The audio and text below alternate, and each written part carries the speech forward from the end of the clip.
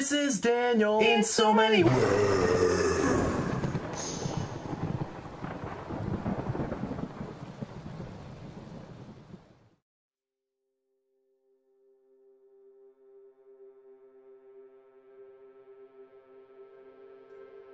In the region of Hoenn, there is no Pokemon Tower.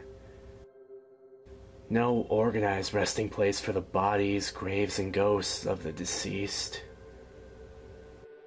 There's Mount Pyre, an entire mountain that serves as one massive chaotic gravesite for the region. It's tempting to go there, test your wits, and see if you can get through it. By all means, go take the risk. But here's a word of warning. If you see a skull, just a skull, be it floating in the air or resting on the ground, turn away from it and flee as quietly as you can. Don't let it see you, and don't let it hear you. Duskull are everywhere, and if you look into the sockets of its skull, you'll see its red eyes it's casting hypnosis. Try not to fall asleep. If you do fall asleep, try and wake yourself up as quickly as possible. You'll be able to feel it. The darkness that surrounds a Duskull, taking shape and wrapping around you. Try and wake yourself up fast. You might only be wrapped up to the knees. That's okay, you can live without lower legs. If you sleep through this, there's no hope. If it hasn't wrapped up your arms and you can move them, reach up to your face. The skull will have attached itself there. Pull it off. Really pull at it. They're stubborn. If it won't come off and you still have use of your arms, grab a rock and smash the skull off your head. Use a lot of force. It's going to hurt, but it will save you. If it works.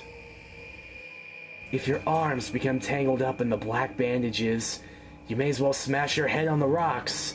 Try to crack the skull off the outside of your face. If you do get it off, and you still have some ability to move, leave as fast as you can and go to a hospital. Your limbs may be useless, but at least you got away. If you can't get it off, the Duskull will wrap you in its bandages entirely. They wrap around your chest all too tightly and restrict your breathing. They wrap around your neck and choke you.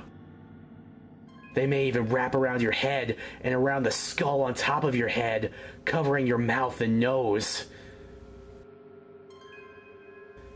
It has control now. There's no point in struggling anymore.